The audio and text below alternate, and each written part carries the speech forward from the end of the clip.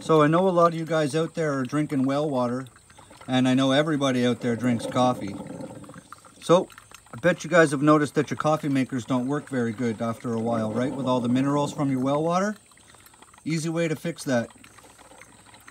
Clean out the grinds, keep your basket in, take the filter out, fill up your reservoir with vinegar, and just run your vinegar right through your machine. And I'm gonna run this through five, six, seven times. And by the time I'm done, this thing will pretty much be running brand new. That's all you gotta do. Just plain old white vinegar and run it through. When it stops percolating, I'm literally gonna dump that back into the reservoir and start brewing again. That's all it takes. You're welcome.